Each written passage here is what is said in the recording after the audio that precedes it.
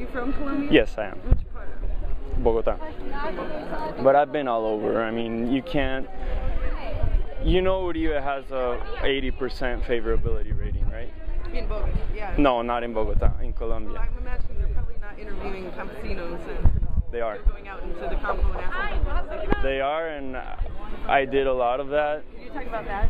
Yeah, there's just the regions. See, the Colombian situation is that before Uribe came to power, there was a, an absence of power. That we had a governance issue, and uh, the de facto rule exactly. The de facto rulers were in some regions paramilitaries, in some regions they were guerrillas. So it depends on what region you go to to talk about Uribe. You're gonna get very different answers. So Why would that be? why would that be? Because some regions used to belong to paramilitaries, others re- re- um, regions used to belong to FARC. I mean, there's a lot of oil companies in Colombia. The struggle used to be rich versus poor. It's not anymore. I mean, if you go back to the 60s, there was a Marxist revolution. That's the story of, of human history. Yeah, you can. You, okay, let's call it that. But the war isn't about that anymore. It is not. And what is it about? It's about drugs, Profit, money. profit, money, exactly. how- But the profit is being made by FARC. FARC, FARC are drug deal is a drug dealing organization. Our rebate is tied with you know, Pablo No, he's not. He's not. Pablo There's no evidence of that. If there was evidence of that, there's evidence of FARC. prior to becoming governor and then moving on through his political career. If it was true, if there was actual evidence of Uribe, He cleaned his act up, and and since he entered politics, he's been an outstanding citizen. that's not true. Get into it. All right, cool. Yeah, uh, you can't blame all the problems in Colombia on Alvaro Uribe. I mean, what he did and what I witnessed living there, and the difference of Colombia 10 years from now to Colombia now, is just a miracle in terms of any any In your experience. no in any development indicator. It, it, it's a miracle. Numbers is one thing, reality is another. True. There is a war, and some people get hurt in the war. On behalf of someone who lives in southern, in southern province of, of Colombia. Yeah, I've been. No, I cannot. I cannot. But you cannot speak for all of Colombians either. Can you? I mean, it's a complicated situation. Balance. Could you give um, Okay, I was in a. person? So if you could you could you empathize with another point of view in Colombia, Afro-Colombians, for instance, that make up 50% of the internally displaced? Four and a half million displaced. Tell me that that's a success. They were not displaced by Their Uribe. lives are not safer. Their lives are not better now. They were not displaced by Uribe. I, why is my life better? How, I you don't know me. You have privilege. And you, weren't, um, you, weren't, you, just, you weren't targeted for displacement. But there are four True. million. But they were displaced before Uribe. When were they displaced? They were displaced by Uribe top power. No, they weren't. Where do you get this information? Where do you get this? Facts. 2.4 What? These are facts. No, these are not facts. They were displaced. 2.4 million. There were no displaced people. There were yeah, but how many how many were displaced before? Look at kidnapping. Look at assassination. Look at murder rates in Colombia. Index. No, it's a civil war. You said it yourself. It's a civil war. People get displaced. Uribe, there is no institutional policy to displace people. It's what happens when you fight a war. Because people get scared and they leave war regions. No, it's not okay. It's not okay. I'm not saying it's okay. But there are government uh, and Uribe made big progress in alleviating the suffering of displaced victims. There's just too many of them to actually give you an example.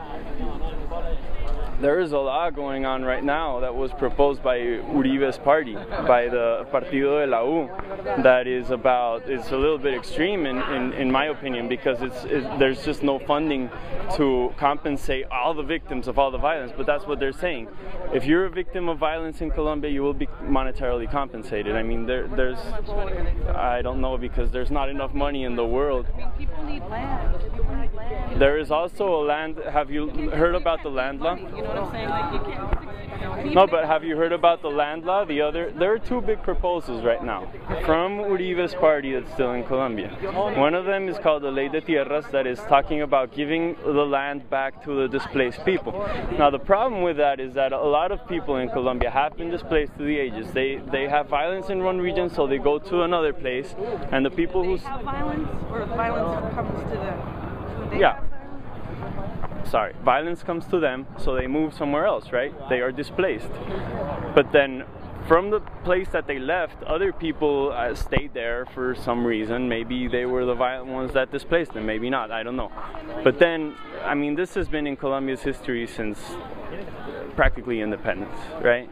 So, who is the rightful owner of a certain uh, parcel of land. It's it's very difficult because a lot of displaced people, people who have been displaced, that come back and say, "This is my land, and I was displaced from it," right?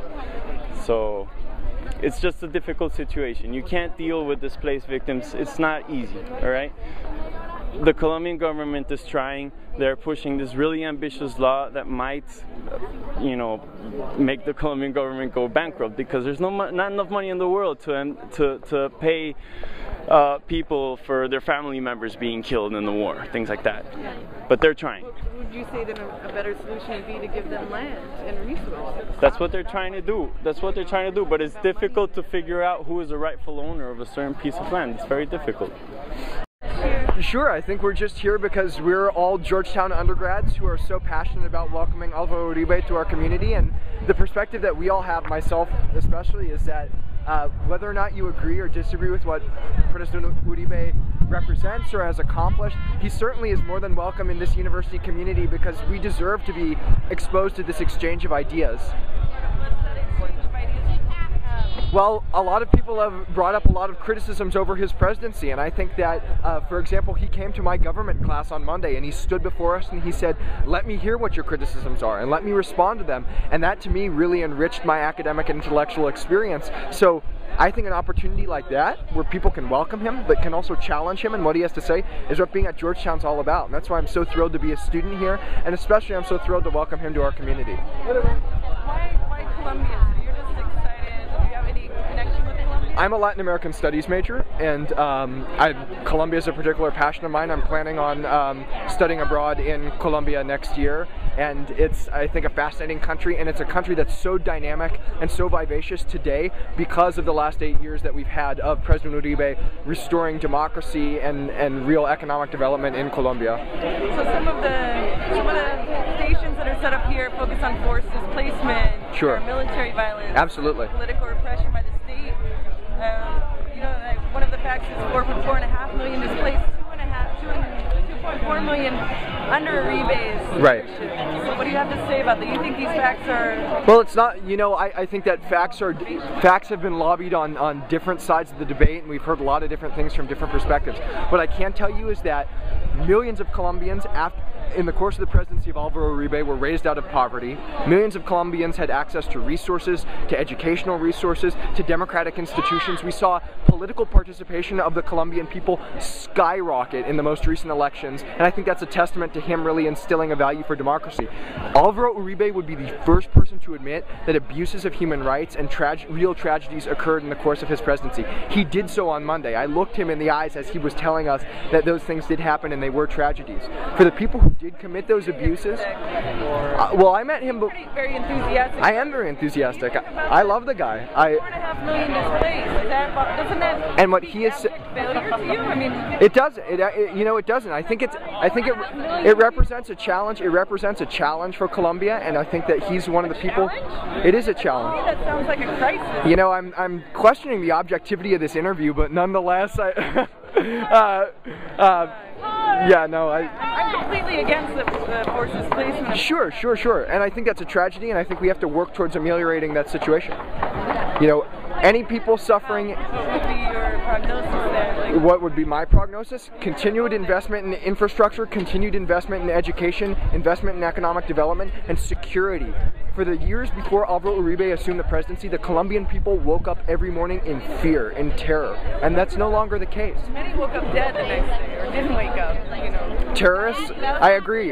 Terrorist groups and FARC people did wake up dead, and thank God the FARC woke up dead. Alvaro Uribe admits to paramilitary violence. He did. He did, which is why he's led one of the most successful and comprehensive campaigns to demobilize the paramilitary groups across Colombia. You've been trained very well.